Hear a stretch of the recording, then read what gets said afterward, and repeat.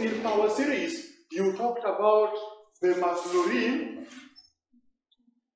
the Maclaurin series and the Taylor series, isn't it? So when you were talking about the Maclaurin series and the Taylor series, you saw the Maclaurin series was expanding and ascending powers of that given variable. So if it is ascending powers of x, the Maclaurin series is expanding and ascending powers of x. If it is y, it is expanding at some point when when when x is equals to zero. When you are dealing with the Taylor, when x is equals to a, so it means when a is equals to zero gives you the Maclaurin series. So the exponential function we are going to see the Poisson distribution is just coming from the Maclaurin series. But I'm not going to derive the Maclaurin series at this point. I'm just going to use it. Are you seeing that? Now remember, we said the range of a probability measure is 1. When you are defining a binomial distribution, p are q raised by the whole of that range gives you 1, isn't it? Now, the Poisson, in a Poisson distribution, when the mean of a binomial distribution, the mean of a binomial distribution NP, when it is less than 5, when the mean of a binomial distribution is less than 5, then that can be, that can be approximated by a Poisson distribution. Meaning when you are not told a distribution is a Poisson is distributed, that this, this is a Poisson distribution, you will always see it to be binomial. Because the binomial, you will always see two possibilities happening any times, or n being the number of outcomes, isn't it? Or the number of the given commodity there. If it is a production line, n becomes the number of items, isn't it? Then P is defective, Q not defective, depending on which one is small. Are you seeing that? So when the mean of the binomial distribution is less than 5, then it can be approximated with the Poisson distribution. That is why we are saying what should be your choice for P when you are dealing with a binomial distribution, isn't it? So anytime you are in a binomial distribution, the value of P always take to be the one which is small. Are you seeing that? Always take P to be the one which is small. That is when you'll be able to check if it can be approximated with the Poisson distribution or not. Are you seeing that? So if you're told the defective rate is 5%, it means the item is either defective or not defective, isn't it? So you see 5% will be 5 for 1 at 0.05, isn't it? And you see Q, it means one will be 5%, the other one will be 95%, isn't it? So it means this one, which is 5%, is what you take to be P because it's the smaller one. Are you getting the explanation? Always choose P to be the smaller one so that you will be able to see, can I approximate this binomial distribution with the Poisson? Are you seeing that? Are we together? Now the Poisson distribution uses an exponential function. So the mean of a Poisson distribution, mean of a Poisson distribution is given by mean of a Poisson distribution is given by lambda. So if the mean of a Poisson distribution is lambda, and it is the mean of the binomial distribution defining, approximating the Poisson distribution, then it is a clear indication that NP gives you the mean, isn't it? Are you seeing that? The mean of a binomial distribution is NP, and the mean of a Poisson distribution is denoted by lambda. So what does that imply? It implies that because it is the same binomial distribution you are approximating with this, so it means it is the same mean, isn't it? Are we together?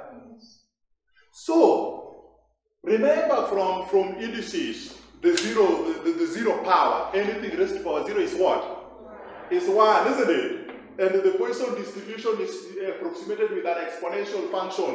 So it means if you have exponential raised to power zero is equals to one. And remember, 1 is the whole range of a probability measure. So in a Poisson distribution, it's defined by an exponential function. Are you seeing that? So if the mean of a Poisson distribution is lambda, exponential raised to power 0 is the same as lambda minus lambda to be equals to 1. Because anything raised to power 0 is equals to 1, and 1 is the old range of a probability measure. Isn't it? And you can see 0 is the same as lambda minus lambda, so that is 0. So you can see here you have two exponential functions, meaning you can separate them. That is laws of indices, isn't it? Laws of indices means when you have the same base, you, with multiplication sign, you add the powers, isn't it? So it means exponential lambda minus lambda is like saying it is exponential lambda times exponential negative lambda to be equals to 1. Because same base, you add the power. So this same base lambda plus negative lambda is lambda minus lambda, meaning you go back to exponential raised to 0, which is 1. Are you seeing that? Are we together?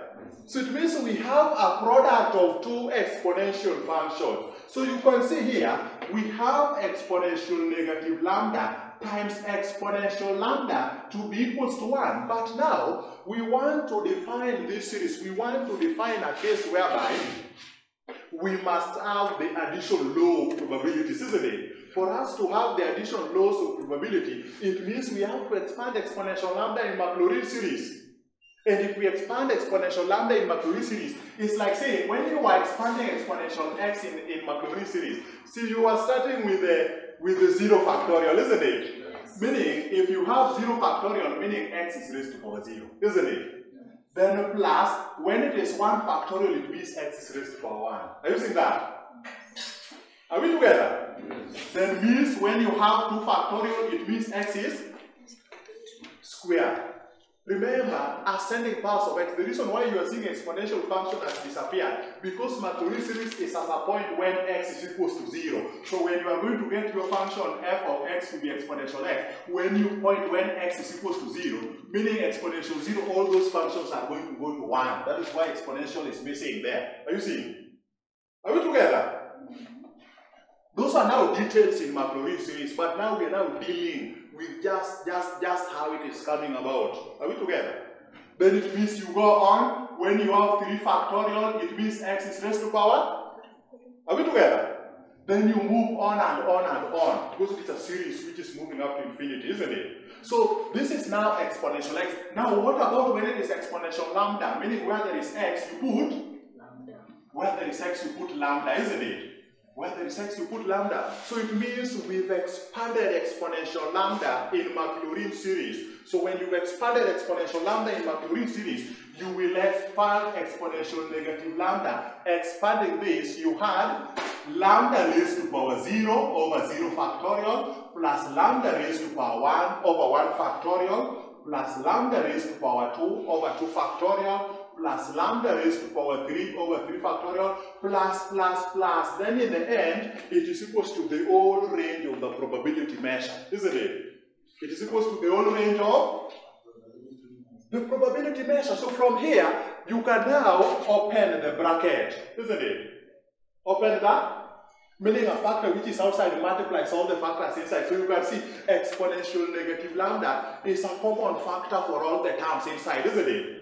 It's a common factor for all the terms inside the bracket. So we'll have lambda raised to power 0 over 0 factorial times exponential negative lambda, then plus lambda raised to power 1 over 1 factorial times exponential negative lambda, then plus lambda raised to power 2 over 2 factorial exponential negative lambda, plus lambda raised to power 3 over 3 factorial exponential negative lambda, then plus lambda raised to power 4 over 4 factorial exponential negative lambda. Then you go on, and when you reach the infinity, you are supposed to get the whole range of probability measure is 1. Not exactly in infinity when you reach the last term of that given distribution, because n will always be a given number, isn't it? When n is 100 means you will go up to 100, isn't it? If n is 50, it means you will go up to 50, isn't it? Because n is a known number, it is not infinity. It is you are reaching at the point which defines the number of terms, isn't it? Are we together?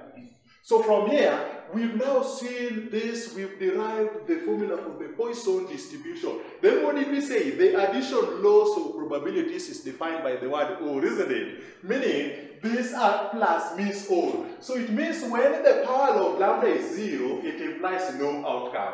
Are you seeing that? Yes. When the power of lambda is zero, it implies no outcome. So when you are looking for the probability of no outcome, no outcome, it is the term where lambda is to power 0. So this first term means no outcome. So lambda raised to power 0 over 0 factorial exponential negative lambda implies 0 factorial. Everything is multiplied by exponential negative lambda, isn't it? The term which was outside the bracket. Are you seeing that? Then the second term, this one is now defining no outcome. This one is now when lambda is raised to power 1 means exactly one outcome. So exactly exactly one outcome, we will have lambda raised to power 1 over 1 factorial exponential negative lambda, isn't it? Then you move to the next one when you have exactly two outcomes. Lambda raised to power 2 over 2 factorial exponential negative lambda. Are we together? Then you move on and on and on, isn't it? So it means when somebody tells you to find the probability that there's exactly two outcomes, then exactly two outcomes is this, isn't it? The probability that there's exactly one outcome, then this is the probability of exactly one outcome, isn't it? So when they now want at most two outcomes, at most two means what? Either no outcome or one outcome or two Meaning either this or this or this. And the word or means addition. Are you seeing that? Have you seen how to define the Poisson distribution? So that is how to deal with problems involving Poisson distribution. Let us see the first example on Poisson distribution.